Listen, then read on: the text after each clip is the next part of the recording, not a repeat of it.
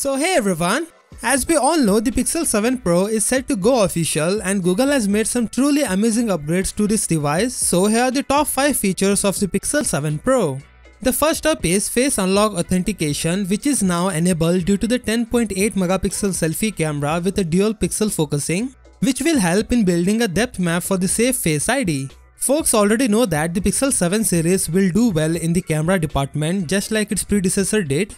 The only thing missing from the Pixel 6 Pro was a micro lens but the good news is that we now have a micro focus mode to see even the smallest details in the images. So you can shoot up close and intimate with the Pixel 7 Pro. The second awesome feature of the Pixel 7 series and my personal favorite is the cinematic video mode. It is similar to what Apple did with the iPhone 14 Pro Max and sure it will focus on the subject while blurring the background as the name indicates the cinematic mode. The Pixel 7 and 7 Pro's next generation Google Tensor G2 Silicon which is powerful and power efficient because it is manufactured using a 4nm Samsung process. Furthermore, in addition to this, we have a new AI chip called the Pixel Visual Core as well as a new Titan security chip Although this may not seem very strong due to the usage of Samsung's manufacturing method, but the overall package is good. Google has made major changes to the software as well, including the ability to chat and translate in real time, a better magic eraser and a face unblur correction for shaky images.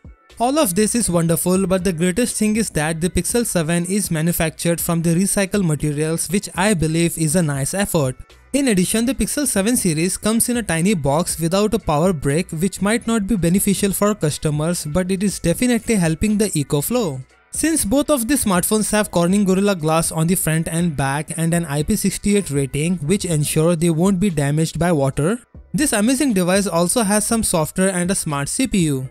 We have a new design and color scheme to carry all of these components. Yes, the Pixel 7 and 7 Pro has a flat and curved front display as well as a Cyclops style back design that may resembles the Pixel 6. But this time the module is not made of black glass, instead it has a nice dual tone finish. The phones are anticipated to have several amazing finishes including snow, lemongrass and obsidian. The cherry on top is, in some countries you can receive a Pixel Watch or Pixel Buds with the Pixel 7 Pro which is a great offer.